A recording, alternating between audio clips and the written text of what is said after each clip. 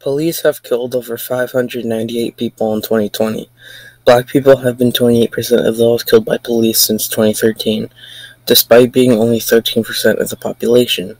The tragic reality is that black people have a much higher chance of being killed by the ignorance of law enforcement, and especially the police.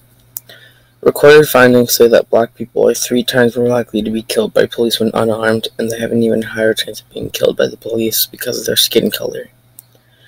This is not including what goes on unreported. Another frightening fact is that in some places, police brutality is even more frequent, like Oklahoma City, Santa Ana, St. Louis City, Scottsdale, and many other places. All beauty and unity in this world is a lie until all Black Lives Matter and are acknowledged. To help the cause, visit blacklivesmatter.com. Thank you.